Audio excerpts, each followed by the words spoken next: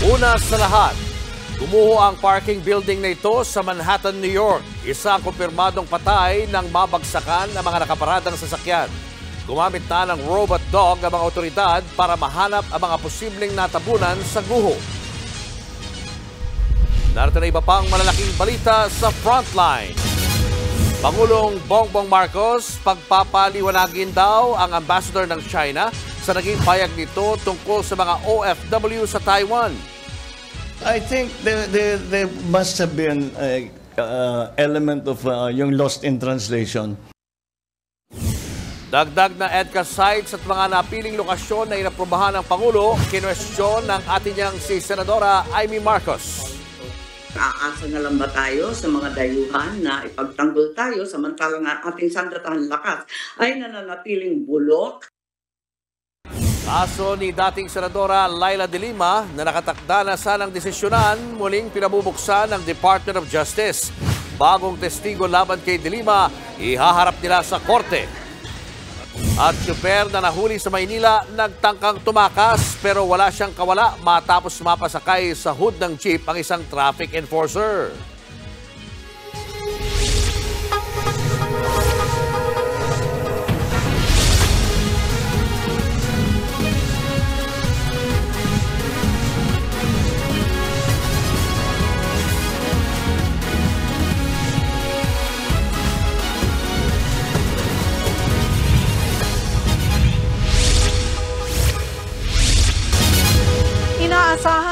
Kampo ni dating Senadora Laila de Lima na dedesisyonan na ang drug case niya sa May 12. Pero ang Department of Justice binabubuksan muli ang paglilitis sa kaso dahil may harap daw silang bagong testigo. Nasa frontline na balitang yan si Marlene Alcaide. Pagtitular na hindi makatarungan. Si Attorney Demeter Huerta ng Public Attorney's Office ang bagong testigong nais iharap ng Department of Justice sa drug case ni dating Senator Laila De Lima. Sa anim na pahinang urgent omnibus motion for reconsideration na inihain ng DOJ sa Muntinlupa Regional Trial Court, humilit sila na buksan ulit ang paglilitis. Si Huerta ang magiging rebuttal witness sa kaso. Magpipresenta rin daw ang prosekusyon ng rebuttal evidence laban sa kapwa-akusado ng senadora na si Ronnie Dayan. Si Dayan ay dating aide at driver ni Delima na umano'y bagman niya. Tumistigo si Dayan laban kay Delima noong 2016. Pero binawi niya ang kanyang mga testimonya noong 2022. Isang araw ang hiniling ng prosekusyon para sa pagdinig ng rebuttal evidence. Gagamitin ito para ipaliwanag, kontrahin at pabulaanan ang mga isinumiting ebidensya ng mga akusado. Paglilinaw ng DOJ, hindi nila layong patagalin ang usad ng kaso. Sa May 12 na nakatakdang desisyonan ng korte ang drug case ni Dalima matapos ang anim na taong paglilitis. Tumanggap umano ng 10 milyong pisong drug money si Delima mula kay dating Bureau of Corrections Chief Rafael Ragos. Galing daw sa mga bilibid inmates ang pera na yan na ginamit daw ni Delima sa pagtakbong senador noong 2016. Pero nitong 2022, binawi ni Ragos ang mga testimonya niya. Ikinagulat ng kampo ni Delima ang biglaang mosyon ng DOJ. Magsusumite rin ng motion ang mga abogado ni Delima para kontrahin ang hiling ng DOJ. May isa pang drug case si Delima na inaasahang ilalabas ang resolusyon sa petition for bail sa May 8. Nagbabalita mula sa Frontline, Marlene Alcaide, News 5. Walang takas ang isang pasaway na jeepney driver sa Never Say Die na traffic enforcer sa Maynila. Sa kuha ng CCTV, makikita ang sinisita ng mga traffic enforcer ang driver na si Marwen Areglado. Nagbaba kasi siya ng pasahero sa maling lugar sa Pedro Hill Street. Nagmatigas ang tsuper at basta na lang sumibat. Pero hindi siya pinalampas ng isang enforcer na sumampa sa bumper ng umaandar na jeep. Umabot pa ng dalawang kilometro ang tinakbo ng jeep bago na corner ng mga otoridad. Ligtas naman ang enforcer. Nagsorry sa kanya ang jeepney driver. Hindi niya raw napansin ang sumampang enforcer. Iginiit din niya na wala siyang nilabag na batas trapiko. Na-inquest na ang jeepney driver para sa reklamong direct assault. Limitado pa rin ang biyahe ng PNR dahil sa nadiskaril na tren kahapon. May biyahe ngayong hapon mula Tutuban sa Maynila hanggang De La Rosa sa Makati City at pabalik. Gayun din mula Tutuban hanggang Governor Pascual sa Malabon at pabalik. Hanggang sa mga oras pong ito, wala pa rin biyahe ng tren mula Pasay Road hanggang Alabang. Nakahambalang pa rin kasi sa Riles ang nadiskaril na tren kahapon. Ayon sa PNR, nasirang switch sa Riles ang dahilan ng pagkakadiskaril ng tren. Sinisisi nila yan sa mga magnanakaw ng bakal sa Riles. Switch kasi, yun yung portion na para yung train natin nakakapaglipat-lipat. Pag ikinambyo mo yun, pag isinwitch, I mean, lilipat yung train sa northbound or lilipat sa southbound, mga ganon. Pagdaan ng train natin doon sa may portion na yun, bigla nga daw lumagabog. Sabi nung driver. So parang ah, pumitik. So hindi natin, hindi pa rin natin ma-confirm bakit siya bumuka. Susunod, reserbang bigas ng NFA tatagal lang daw ng isa't kalahating araw ayon kay Pangulong Bongbong Marcos. At mga senador, kinwestiyon ang lokasyon ng mga dagdag na EDCA sites. Bakit hindi raw inilagay sa mga lugar na laging binabagyo kung pagtugon sa kalamidad ang pangunahing layunin nito? Abangan ang lahat ng yan sa pagbabalik ng Frontline Pilipinas.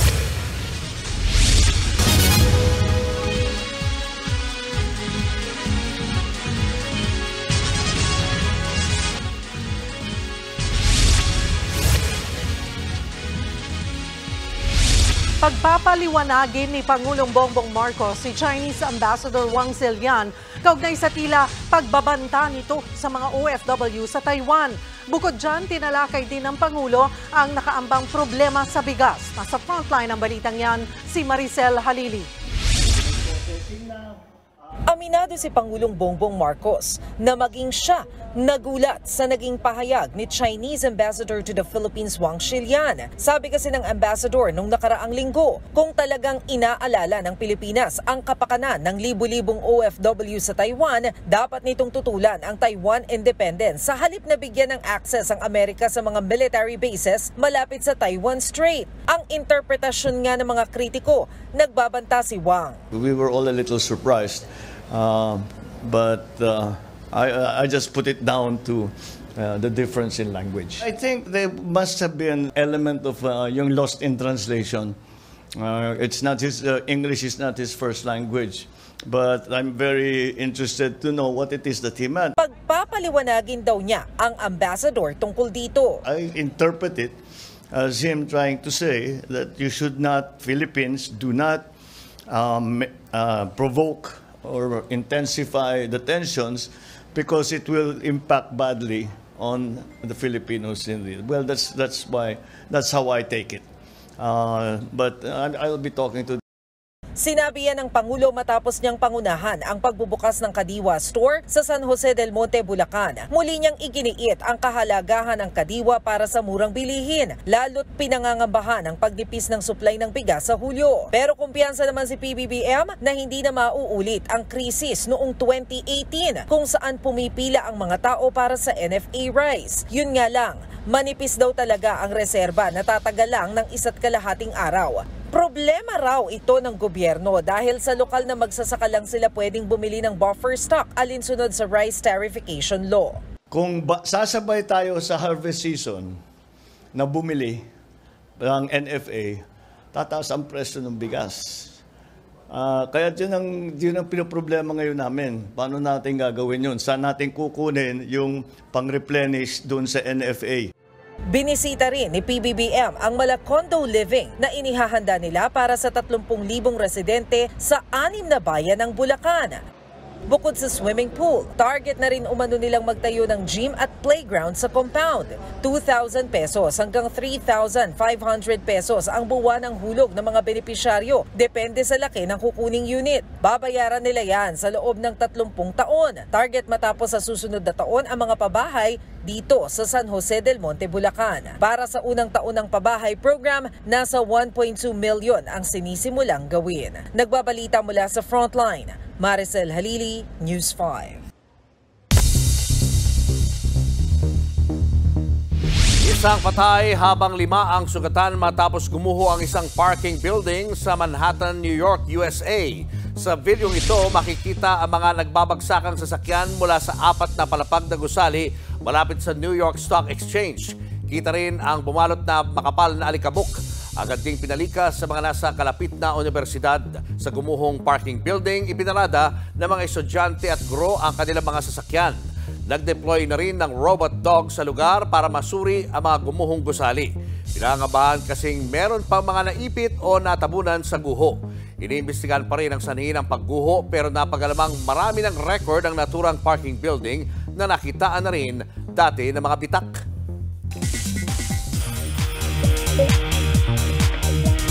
Magsasama-sama sa, sa isang proyekto ang mga sikat na 90s heartthrob. Mapapanood po sa isang dream project sina Piolo Pascual, Peter Ocampo, Jericho Rosales at John Lloyd Cruz. Sa isang panayam kay Papa P, sinabi niyang siya mismo ang may gustong matuloy ang proyekto. Kamakailan lang nag-viral ang reunion photo ng apat na matinee idol. Ginawa pa nga itong meme ng ilang netizen.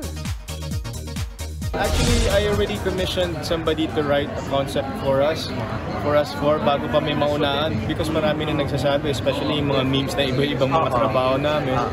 So, hopefully this week, we can get the first draft of the script that uh, uh, that we're gonna be working on. And then, from there, let's see kung magagawa namin pelikula or TV show. Susunod, Senadora Amy Marcos kinwestiyon ang lokasyon ng mga dagdag na EDCA sites. Mas nakatutok na raw ba tayo sa tensyon sa Taiwan kumpara sa sarili nating teritoryo sa West Philippine Sea? Abangan yan sa pagbabalik ng Frontline Pilipinas.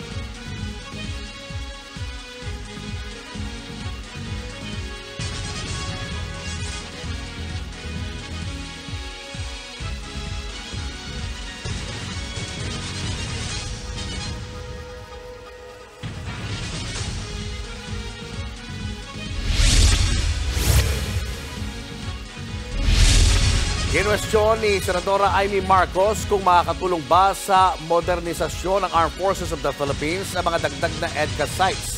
Sa pagdinig ng Senate Committee on Foreign Relations, sinabi ng Senadora na tila mas nakatuon naman ang EDCA sa paghahanda sa kalamidad, maritime security at counterterrorism. Kailangan din daw ng AFP ang modernization para maipagtanggol natin ang ating bansa laban sa iba't ibang banta. Ang aasa na lang ba tayo sa mga dayuhan na ipagtanggol tayo samantalang ang ating sandatahan lakas ay nananatiling bulok, luma, under um, uh, armed and uh, completely abject in the face of uh, any uh, external uh, threats.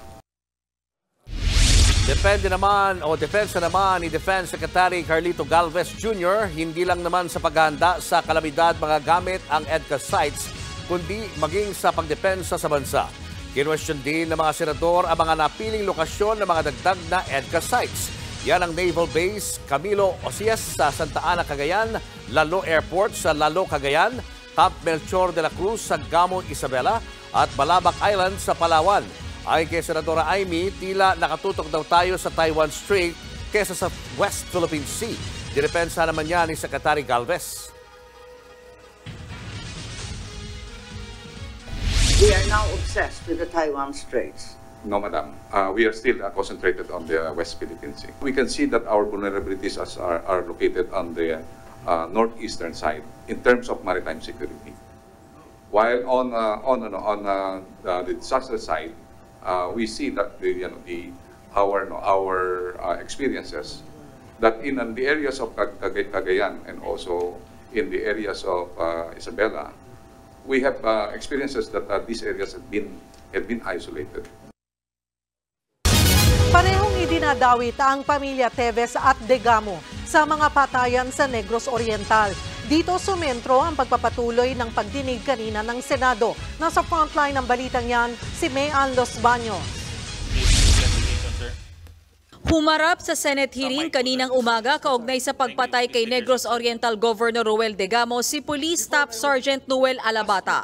Si Alabata ang itinuturang suspect ng dalawang negosyante sa Negros Oriental na nagtangka raw pumatay sa kanila noong March 2021. Pero nakapalag ang mga bibiktimahin dapat ni Alabata kaya siya ang nabugbog, nabaril sa lieg at dinala sa ICU. Yan po ang gunman na gulpi namin. Yan yung si Alabata, yung gunman. Yes, yan yung police. Kabaril, halika tingnan mo. Mismong si Senator Bato de la Rosa ang nag-inspeksyon sa katawan ng pulis. Naniniwala ang mga negosyanteng sina Sandy Tinguha at Jason Ong na may koneksyon si Alabata kay Congressman Arnie Teves na itinuturong mastermind sa pagpatay kay Governor Degamo. Gusto raw kasing agawin ng kongresista ang mga negosyo nila. Bakit interesado silang patayin kayo? Para sa negosyo ata. Kasi si Arnie, Mr. Chair, meron siyang Arnie Chicken. Tapos gusto niya yung kunin yung ano namin, yung business namin na tusinuan po. Actually po, sakit. Nang questionin ng mga senador si Alabata, uminit lang ang ulo nila dahil sa paiba-iba nitong pahayag. Bakit po napunta po ako doon na may CCTV po? Yung pinalabas sa CCTV doon, hindi yun po ako. Hindi yun ako po yung CCTV. Yung gitampered nila, nagawa sila ng CCTV na sa kanila na yun ang nangyari. Nandoon ka! Nabugbog ka! Nasa ospital ka! Napunta ka sa istasyon! Yes po, sorry po. Oo, kaya nga, klaruhin natin ito. Sabi niya dito, tapos lumabas. Sabi rin ni Alabata, hindi totoong nabaril siya. Pero sa record ng doktor na gumabot kay Alabata, may tama siya ng bala sa liig. Nakita rin daw ni Senator Bato ang peklat ng exit wound. Isa pang ikinabigla ng mga senador, nakapagpiyansa na 120,000 pesos ang suspect pero hindi raw alam ni Alabata kung sino ang nagbayad nito. Dapat kanino mo ba sinasabi totoo? Sa akin po. Ha? Hindi ko po talaga alam kung sino yung nagpensa sa akin. Isa-site in contempt na kita dito ngayon, ha? Pulis ka! Hindi mo alam kung sino nagpensa sa'yo. Opo, hindi po talaga alam po. That's the reason. Galit Sa kaparehong pagdinig, muling humarap si Seattle Negros Oriental Mayor Fritz Diaz at sinabing raid sa Isabong ang dahilan ng umunoy galit ni Congressman Teves kay Governor Degamo. That's the reason. Galit na galit yung mga Tebes kay Gob kasi pinatigil yung faucet, isa sa faucet of money ni sila, sir. Nagbanta pa raw si Teves sa kakasuhan ng ilang tauhan ng NBI na nagsagawa ng raid sa umano'y operasyon ng Isabong sa Cebu. Nagtangka pa umanong manuhol si Teves ng taga-NBI. Hindi kita isasama sa kaso ng mga tao mo pag in-negative mo ang mga order sa iyo na mag-operate ng e-sabong operation. Kaya utos ni Bato, ipasara ang mga umano'y Isabong operation sa Negros. Ang galing naman niya. Talagang uh, confidence siya na hindi, niya, hindi ito mapapahinto. So ngayon, hinahamon ninyo niyang capability ng law enforcement community, magtutulong-tulungan kayo. Habulin niyo lahat ng isabong dyan. Pero hindi lang mga Teves ang nadiin sa pagdinig. Sa pagpapatuloy ng investigasyon, inakusahan din ng pagpatay si Governor Degamo. Humarap at nagbigay ng testimonya si Colleen Pepino kaugnay sa pagpatay sa kanyang asawang radio commentator na si Cornelio Pepino na kilala bilang si Rex Cornelio. Pinagbabaril ng limang lalaki ang mamamahayag noong May 2020. Ilang beses daw pinakasuhan ng libel ni Degamo si Cornelio dahil sa report nito sa umunay questionableng proyekto ng gobernador. Kotse raw ng isang taga-kapitolyo ng Negros Oriental ang sasakyang ginamit sa ambush. Pero hindi umusad ang kaso at nawala ang mga ebidensya. Nakikita sa investigation, sir, someone higher in the capital talaga. Kasi hindi man, for example, sir, kung ang ilang manggong gipagawa, sir, na istorya, pinalalabas nila na pinatay nila si pinatay daw ng Tevez si Rex. Sagot siya ng may bahay ng pinaslang na gobernador na si Mayor Janice Degamo. I want it on record na Lahat, lahat na sinasabi mo dito, uh, automatic sometime recorded yan. in two years ago, I met with uh, USEC EDCO encouraging them. So what I suggested to USEC EDCO, you write a letter like what I am doing, that I write a letter to the Senate so that we can have this investigated. Dumalo rin muli sa pagdinig si dating Governor Pride Henry Teves pero wala siyang reaksyon sa mga bagong alegasyon laban sa kanyang kapatid. Magpapatuloy pa bukas ang pagdinig. Nagbabalita mula sa frontline, Mean Los Baños, News 5. Sa sports, sinuspindi ng NBA si Golden State forward Draymond Green para sa Game 3 ng tapatang Warriors at Sacramento Kings. Dahil yan sa flagrant foul penalty 2 na itinawag kay Green noong Game 2 matapos niyang tapakan si Kings center Domantas Sabonis. Ito na ikalawang beses na nasuspinde sa playoffs si Green. Malaking dagok para sa Warriors ang suspension ng kanilang forward lalo't na kadalawang panalo na ang Sacramento.